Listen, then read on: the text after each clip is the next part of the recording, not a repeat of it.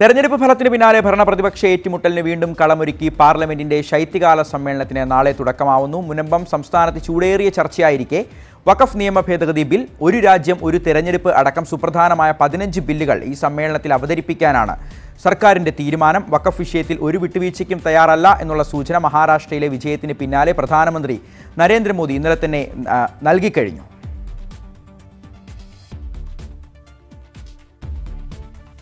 ബിനുരാജ് കൂടുതൽ വിവരങ്ങളുമായി നമുക്കൊപ്പം ചേരുന്നുണ്ട്. ബിനുരാജ് മഹാരാഷ്ട്രയിലെ മിന്നുന്ന വിജയം പാർലമെന്റിൽ യാതൊരു വിട്ടുവീഴ്ചയും വേണ്ട എന്നുള്ള ആത്മവിശ്വാസം സർക്കാരിന് നൽകിയിട്ടുണ്ട്. എന്തായിരിക്കും എങ്ങനെയായിരിക്കും ഈ ശൈത്യകാല സമ്മേളനത്തിൽ സർക്കാരിന്റെ ഒരു നിലപാട്?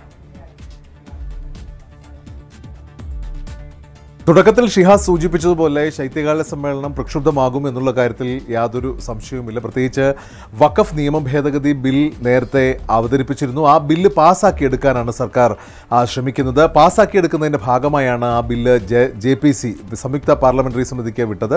ആ സംയുക്ത പാർലമെന്ററി സമിതി അവരുടെ സിറ്റിംഗ് നടത്തി ആ റിപ്പോർട്ട് തയ്യാറാക്കിയിട്ടുണ്ട്. ആ റിപ്പോർട്ട് ഈ സമ്മേളന കാലത്ത് തന്നെ മേശപ്പുറത്ത് വയ്ക്കും എന്ന് അല്പസമയം മുമ്പ് പാർലമെന്ററി കാര്യമന്ത്രി കിരൺ റിജിജു വ്യക്തമാക്കുകയും ചെയ്തു.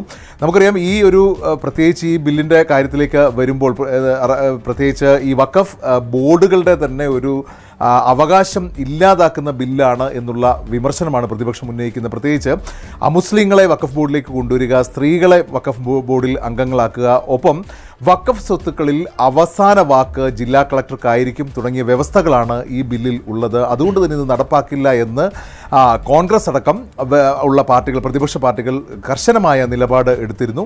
ഈ ഒരു പശ്ചാത്തലത്തിൽ തന്നെയാണ് മുനമ്പം വിഷയം ചർച്ചയാകുന്നതും. മുനമ്പത്ത് നമുക്കറിയാം വക്കഫിന്റെ നടപടികൾക്കെതിരെ അവിടെ വലിയ പ്രതിഷേധം ഉയരുന്നുണ്ട്. സംസ്ഥാനത്ത് കോൺഗ്രസ്സിന് വാതുറക്കാൻ പറ്റാത്ത സാഹചര്യവുമാണ്. പക്ഷേ കേന്ദ്രത്തിൽ ഈ വക്കഫ് നിയമ ഭേദഗതി ബില്ലിനെ അവർ വലിയ രീതിയിൽ എതിർക്കുന്നുമുണ്ട്. അപ്പോൾ കോൺഗ്രസിന്റെ നേതൃത്വത്തിൽ വലിയ പ്രതിഷേധം പാർലമെന്റിൽ ഉന്നയിക്കാനാണ് നീക്കം വക്കഫിന്റെ കാര്യത്തിൽ. അതോടൊപ്പം തന്നെയാണ് ഒരു രാജ്യം ഒരു തെരഞ്ഞെടുപ്പ് ആ ഒരു രാജ്യം ഒരു തെരഞ്ഞെടുപ്പ് നടപ്പാക്കുന്നതിന് മുന്നോടിയായി അതേക്കുറിച്ച് പഠിക്കാൻ മുൻ രാഷ്ട്രപതി രാംനാഥ് കോവിന്ദ് അധ്യക്ഷനായ സമിതിയെ നിയോഗിച്ചിരുന്നു. ആ സമിതി പച്ചക്കൊടി കാട്ടിയിട്ടുണ്ട്. രണ്ടായിരത്തി ഇരുപത്തി ഒൻപത് മുതൽ ഒരു രാജ്യം ഒരു തെരഞ്ഞെടുപ്പ് നടത്താൻ പറ്റുമോ എന്നാണ് സർക്കാർ ആലോചിക്കുന്നത്. അപ്പോൾ ആ ബില്ല് അവതരിപ്പിക്കുന്നു. വയനാട്ടിലെ അടക്കം വലിയ ദുരന്തങ്ങൾ രാജ്യത്തിന്റെ മുമ്പിലുണ്ട്. അതുകൊണ്ട് നിലവിലെ ദുരന്ത നിവാരണ നിയമത്തിൽ ഭേദഗതി കൊണ്ടുവരാനുള്ള നീക്കത്തിലാണ് സർക്കാർ. അങ്ങനെ സുപ്രധാനമായ പതിനഞ്ച് ബില്ലുകളാണ് ഈ ശൈത്യകാല സമ്മേളന കാലത്ത് അവതരിപ്പിക്കുന്നതിന് വേണ്ടി സർക്കാർ നീക്കം നടത്തുന്നത്. അതോടൊപ്പം തന്നെയാണ് ഇപ്പോൾ സൂചിപ്പിച്ച പോലെ തന്നെ മഹാരാഷ്ട്രയിലെ വിജയം സർക്കാരിന് കൂടുതൽ ഒരു സേ നൽകുകയാണ് ഈ വിഷയത്തിൽ. പ്രതിപക്ഷത്തിന്റെ പ്രതിഷേധം കണക്കിലെടുക്കുകയേ വേണ്ട എന്നുള്ള നിലപാടിലേക്കാണ്. ഇന്നലെ ഈ വഖഫ് നിയമ ഭേദഗതി ബില്ലുമായി മുൻപോട്ട് പോകുന്നതിനെക്കുറിച്ച് പ്രധാനമന്ത്രി തന്നെ വ്യക്തമാക്കുകയും ചെയ്തു.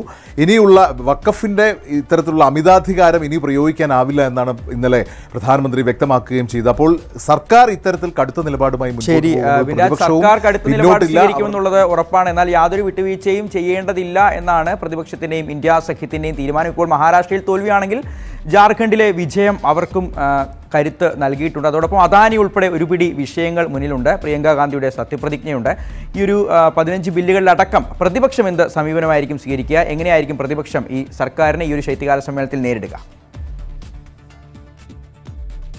ഷിഹാസ് ഈ വിഷയങ്ങളിലൊക്കെ തന്നെ പ്രതിഷേധം ഉന്നയിക്കുന്നതിനൊപ്പം തന്നെ ഷിഹാസ് സൂചിപ്പിച്ച പോലെ തന്നെ അദാനി അദാനിക്കെതിരെ വലിയ നിയമ നടപടികളുമായി അമേരിക്ക മുൻപോട്ട് പോവുകയാണ്.